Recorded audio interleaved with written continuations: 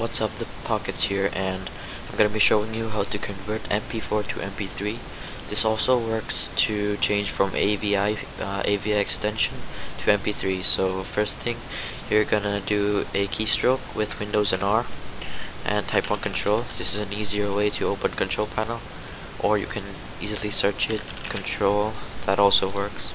So once you open control panel on the top right search bar you're gonna type folder and then in the second option um, in Windows 8 it's usually in the first option but in Windows 10 the latest one it's gonna be the second. So you click that go into the view tab and you don't need to scroll you just need to uncheck this.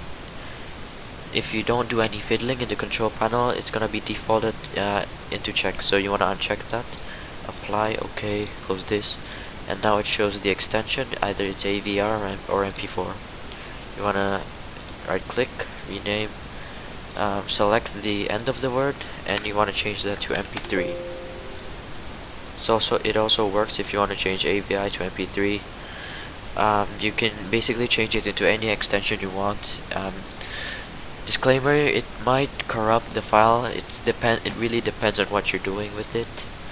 But for typical video editing if you're converting an MP3 I mean to MP4 to MP3 for example a a song or something, a, a music video, and you want to convert it into an MP3, that will work.